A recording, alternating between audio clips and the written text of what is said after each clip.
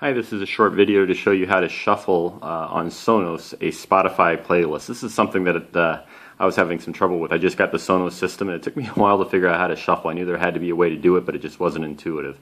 And so first the problem, um, I was finding that you go into a, a, a Spotify uh, playlist, I'd go into my music, which was connected to, to my account, uh, and I'd go into a playlist and um, say I would play this indie chill out, um, I'd want this track or these tracks to be played.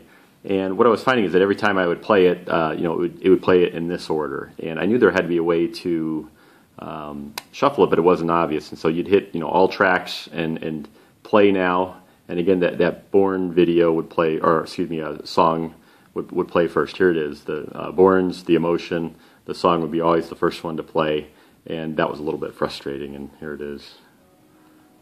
So anyway, it's playing, but um, I, I, knew there had to be a way that if I uh, were to shuffle, um, that I could make it that, that I could uh, you know play it in random order, which would be a lot more entertaining. Well, the, the, the trick here is that there's this queue button down here in the bottom right where my finger is pointing.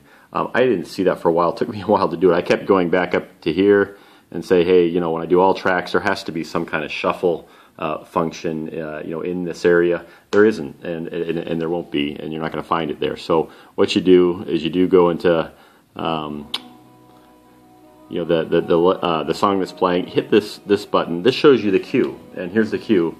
What you can do is clear it and say, yeah, I want to clear out the the playlist which was playing in that specific order, and um, you can actually hit the the shuffle button. Once you do that then you can you can choose a playlist like this one and hit play, and now it should play something different. It's not going to play that music by the uh, Borns.